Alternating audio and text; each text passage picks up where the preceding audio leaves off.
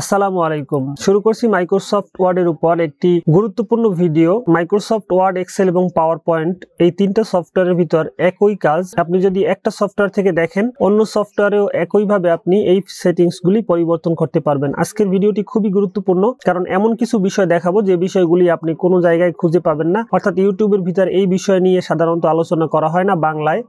ইংলিশে অনেক ভিডিও থাকার পর আছে। আমি দেখেছি ইংলিশে অনেক ভিডিও আছে এই বিষয়ের উপর। কিন্তু বাংলায় এই বিষয় সম্পর্কে তেমন কোনো ভিডিও না থাকায় আমি এই বিষয় সম্বন্ধে একটু আলোচনা করি। আমি আপনাদেরকে খুব সহজ ভাষায় কয়েকটি বিষয় একটু বুঝাবো। আপনি যদি মাইক্রোসফট ওয়ার্ডে ইতিমধ্যে এক্সপার্ট হয়ে থাকেন, তবে এই বিষয়গুলি আপনাদের জানা জরুরি। আর যদি আপনি মাইক্রোসফট ওয়ার্ডের একদম এন্ট্রি লেভেলের ইউজার হন, তারপরেও আপনাকে আপনাকে হয় এই বিষয়গুলো জেনে রাখা ভালো। পরবর্তীতে হয়তো বিশেষ কোনো কাজে আপনার এই- এই সেটিংসগুলি প্রয়োজন হতে পারে। তো সাথে আছি আমি মারুফ বিল্লা, প্রশিক্ষক ও পরিচালক, জিনিয়াস কম্পিউটার ট্রেনিং সেন্টার। আমরা মাইক্রোসফট ওয়ার্ডের file home insert design layout reference mailings review view add-ins help এই বিষয়গুলি সম্বন্ধে জানি এবং প্রত্যেকটা বিষয় ট্যাবের ভিতরে আবার অনেক ফাংশন আছে। এই কাজগুলি আমরা অনেকেই জানি। কিন্তু ফাইল অপশনে গিয়ে এখানে অপশন নামে একটা অপশন আছে। এই অপশনের ভিতরে আবার কতগুলি সেটিংস আছে? এই সেটিংস গুলি আমাদের কি প্রয়োজনে আসবে? কোন সেটিংস গুলি পরিবর্তন করা প্রয়োজন? এই বিষয়ের উপর আজকের ভিডিও তো আমরা একটু প্রথমেই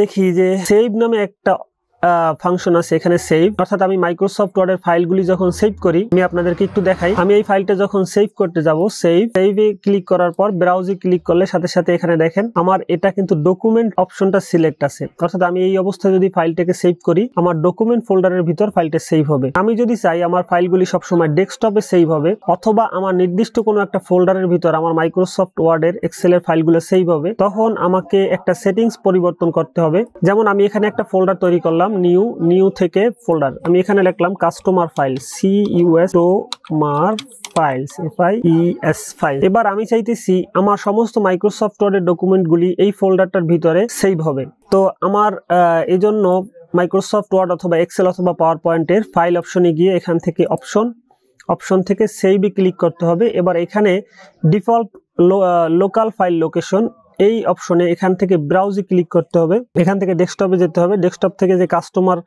ফাইলস নামে যে ফোল্ডারটা তৈরি করেছিলাম, ওই ফোল্ডারটাকে সিলেক্ট করতে হবে। এবার ওকে প্রেস করলে দেখেন এখানে কিন্তু কাস্টমার ফাইলস নামে ওই ফোল্ডারটা সিলেক্ট হয়ে গিয়েছে। এবার যদি আমি ওকে প্রেস করি, তাহলে আমি প্রত্যেকবার যখন ফাইলে গিয়ে সেভে ক্লিক করব এবং ব্রাউজে ক্লিক করব, তখন আমার ডিফল্টভাবে আমার ওই ফোল্ডারটি সিলেক্ট হয়ে যাবে। এবার আমি যদি কোনো নাম দেই, যেমন পঁয়ষট্টি দিলাম, এবার সেভে ক্লিক করলাম। এবার যদি আমার ওই ফোল্ডারটার ভিতরে আমি যাই, দেখেন, ডিফল্টভাবে ওই ফোল্ডারের ভিতরে কিন্তু আমার ফাইলটা সেভ হয়েছে। অনেকেই আছেন মাইক্রোসফট ওয়ার্ডের কাজ করেন সব সময় ডেস্কটপে অথবা অন্য কোনো জায়গায় ফাইল সেভ করলে খুঁজে পেতে কষ্ট হয়। অথবা ডেস্কটপে ফাইল অনেক জমা হয়ে যায়, অথবা ডকুমেন্টের ভিতর ফাইল জমা হয়ে যায়, তাদের জন্য এই সেটিংসটা খুবই উপকারে আসবে। দ্বিতীয় নম্বরে আমরা যে বিষয়টা দেখব, অনেক সময় আমাদের কম্পিউটারে কাজ করতে করতে বিদ্যুৎ চলে যায় অথবা কম্পিউটার রিস্টার্ট নেয় অথবা যে কোনো টেকনিক্যাল সমস্যার কারণে যদি মাইক্রোসফট ওয়ার্ড কোনো ডকুমেন্ট লেখা অবস্থায় ক্লোজ হয়ে যায়, ওই ফাইলটা আর ফিরে পাওয়া যায় না। আমরা ফাইলটাকে হারিয়ে ফেলি। এই জন্য একটা অপশন আছে, আমরা প্রথমেই একটা কাজ করব। ফাইলে গিয়ে অপশনে যাব অপশনে যাওয়ার পর এখানে সেভ বাটনে ক্লিক করব। এখানে দেখেন save auto recover information every ten minute অর্থাৎ প্রত্যেক দশ মিনিট পর পর আপনার যে লেখা, ওই লেখাটুকু আপনার নির্দিষ্ট ফাইলে সেভ হয়ে যাবে। এটাকে আমরা যদি টেন মিনিট বাদ দিয়ে ওয়ান মিনিট দেই, তাহলে প্রত্যেক ওয়ান মিনিট পর পর আমাদের লেখাটুকু অটোমেটিক্যালি সেভ হয়ে থাকবে। যদি আমার কম্পিউটার ক্লোজ হয়ে যায় অথবা রিস্টার্ট নেয়, তারপরেও আমি সর্বশেষ এক মিনিট পূর্ব পর্যন্ত আমার ফাইলের নির্দিষ্ট লেখাটুকু আমি ফিরে পাবো, আশা করি।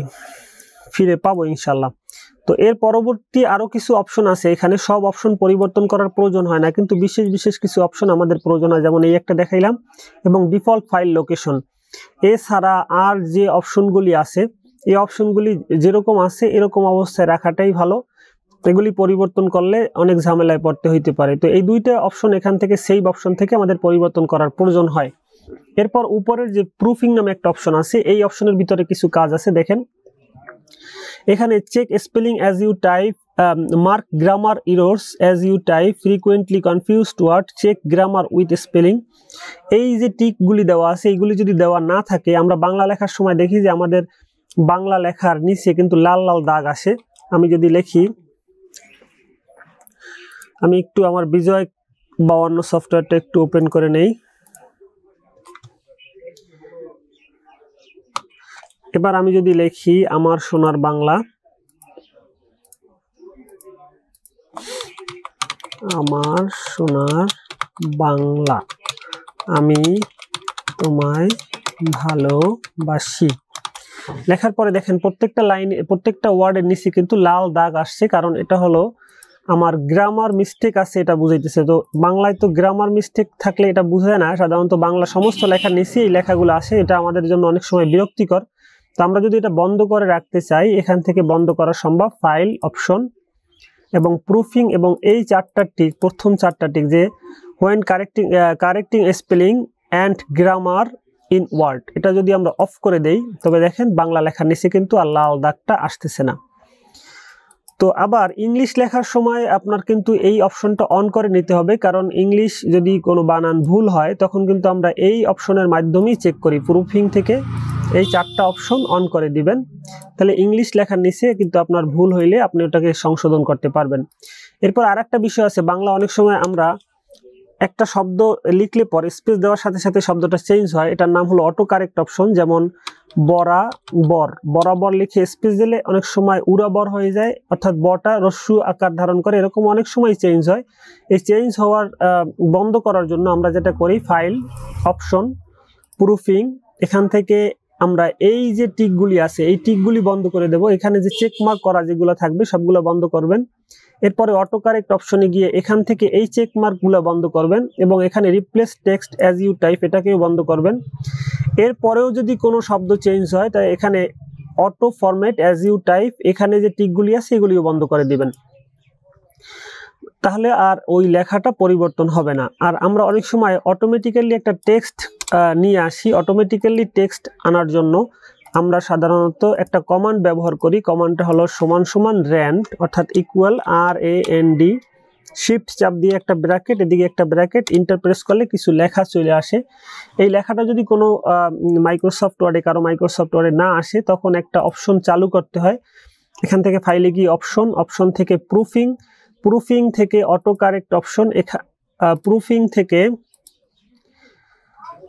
হ্যাঁ অটো কারেক্ট অপশন এবং এখান থেকে এই যে replace auto correct replace text as you type এই যে চেক মার্কটা করা আছে, এটা যদি আমরা উঠিয়ে দেই, তবে র্যান্ড লেখার পরে যে ওই অটো যে আমাদের লেখাগুলি আসে, এইগুলি আর আসবে না। যেমন R A N D shift bracket এদিকে ওদিকে ইন্টার তো এখন দেখেন এই লেখাটা কিন্তু আর আসতেছে না। কারণ আমি যে অপশনটা বন্ধ করছি, এটাকে আবার চালু করতে হবে। অপশন অপশন থেকে প্রুফিং প্রুফিং থেকে অটো কারেক্ট অপশন এখান থেকে replace text as you type এটাকে টিক দিয়ে দেবেন এবং ওকে ওকে। এবার ইন্টার দিলে কিন্তু লেখাগুলো আসবে। তো এরপরে আরও একটা অপশন আমাদের খুবই প্রয়োজন হয়, সেটা হলো আবার আমি অপশনে যাই ফাইল থেকে।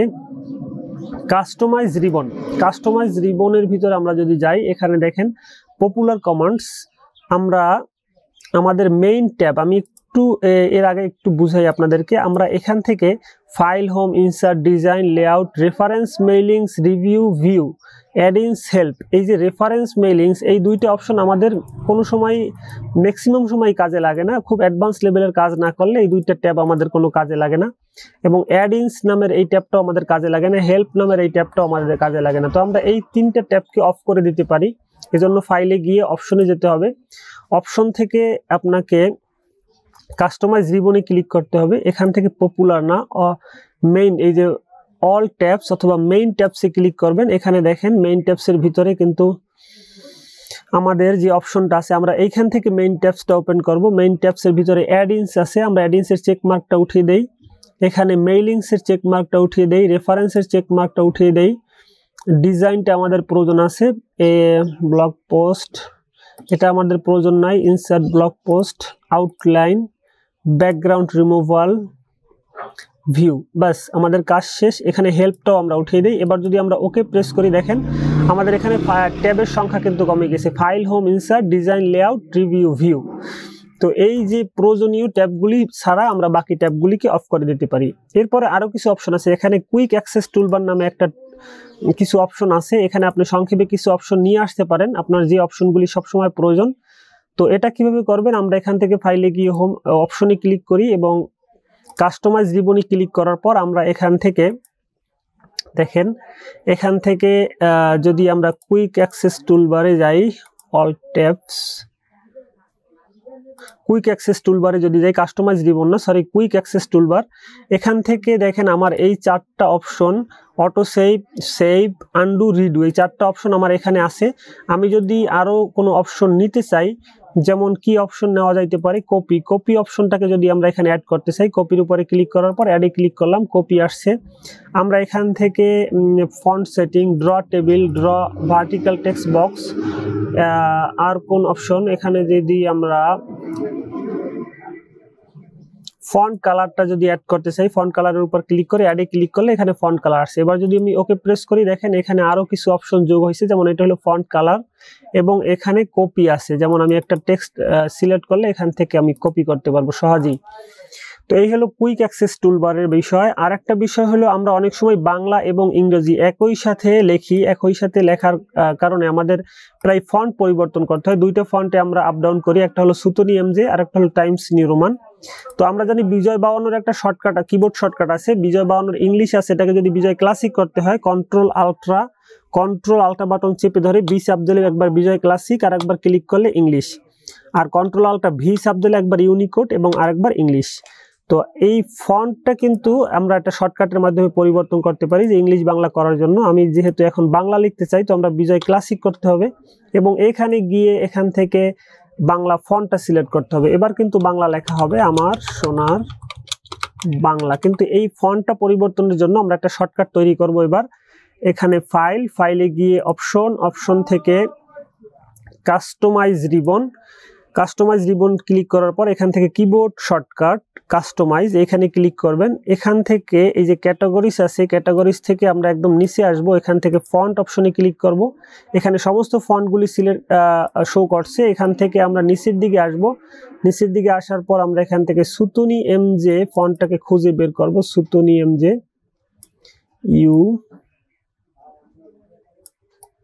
I O S T U হ্যাঁ এখানে সুতুনি এম যে দেখেন, সুতুনি এম জের উপর ক্লিক করার পর এখান থেকে আমরা প্রেস নিউ শর্টকাট কি, আমরা এখান থেকে এখানে ক্লিক করে কিবোর্ড থেকে কন্ট্রোল বাটন চেপে ধরে অন বাটন প্রেস করলাম, তাহলে কন্ট্রোল নাম্বার ওয়ান এটা আসছে, আমরা অ্যাসাইনে ক্লিক করব। এবার আমরা টাইমস নিউ রোমানটাকে খুঁজবো। টাইমস নিউ রোমান যে ফন্টটা আছে T M Times New Roman এটার জন্য একটা কিবোর্ড শর্টকাট তৈরি করব। এখানে ক্লিক করলাম কন্ট্রোল টু প্রেস করলাম এবং অ্যাসাইনে ক্লিক করলাম।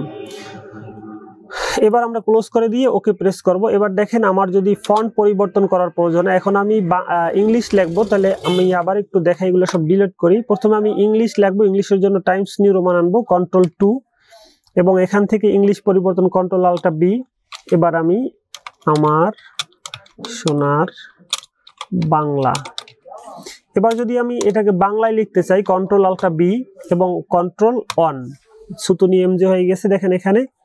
এবার কিন্তু আমি লিখতে পারি আমার সোনার বাংলা। এরকম ভাবে আমরা ফন্টের যদি শর্টকাট তৈরি করে নেই, আমাদের জন্য সুবিধা হবে, আমাদের সময় সেভ হবে, দ্রুততার সাথে আমরা কাজ করতে পারব। এই অপশনগুলি মাইক্রোসফট ওয়ার্ডের এই অপশনগুলি আমাদের অনেক সময় পরিবর্তন করার প্রয়োজন হয়। আমরা যদি এই বিষয়গুলিকে একটু বুঝতে পারি, একটু প্র্যাকটিস করে দেখেন। আশা করি আপনারা বুঝতে পারবেন, আপনাদের উপকারে আসবে। আজকের ভিডিওটি যদি ভালো লাগে, অবশ্যই আমাদের চ্যানেলটি সাবস্ক্রাইব করবেন আর ভিডিওতে একটা লাইক দিয়ে সাথে থাকবেন। আমার জন্য দোয়া করবেন, সবাই ভালো থাকবেন। পরবর্তী ভিডিও দেখার আমন্ত্রণ জানিয়ে আজকের মতো শেষ করতেছি। এতক্ষণ সাথে ছিলাম আমি মারুফ বিল্লা, প্রশিক্ষক ও পরিচালক জিনিয়াস কম্পিউটার ট্রেনিং সেন্টার। সবাই ভালো থাকবেন। আসসালামু আলাইকুম রহমতুল্লাহ।